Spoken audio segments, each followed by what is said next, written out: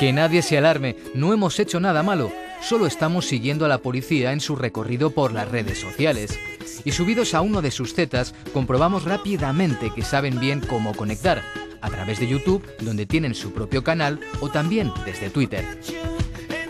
Eh, lo que queríamos era reforzar nuestra imagen policial. La Policía Nacional es una de las instituciones mejor valoradas eh, actualmente en, nuestro país.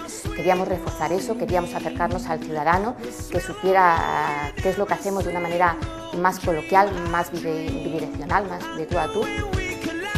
A través de Twitter, este equipo de Sabuesos 2.0 nos informa prácticamente a tiempo real sobre operaciones antidroga, robos o desarticulaciones de bandas de falsificadores pero también comparten sus notas de prensa y enlazan vídeos sobre cómo se protege, por ejemplo, a los campeones de La Roja en su paseo triunfal.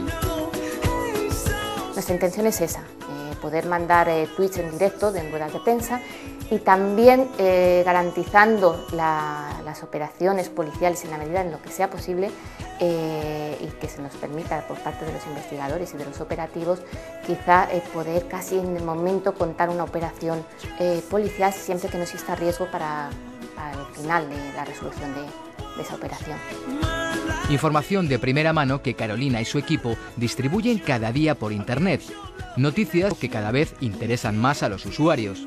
Y claro, con tanto público pendiente, no podía faltar un toque de cachondeíto. Nosotros desde el principio, no sabemos si cambiaremos, eh, decidimos que, no íbamos a seguir a nadie. Eso ha sido siempre una, moza y un chiste en, Twitter, en nuestra red.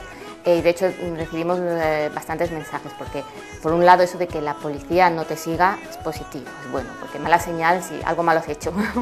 Empezaron a moverse en terreno tuitero hace año y medio, convirtiéndose así en pioneros entre los cuerpos y fuerzas de seguridad del Estado.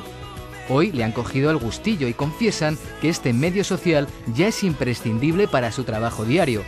Y la colaboración ciudadana es la clave, por cierto, no perdieron tiempo en chivar a sus seguidores que Cámara Abierta 2.0 andaba por ahí.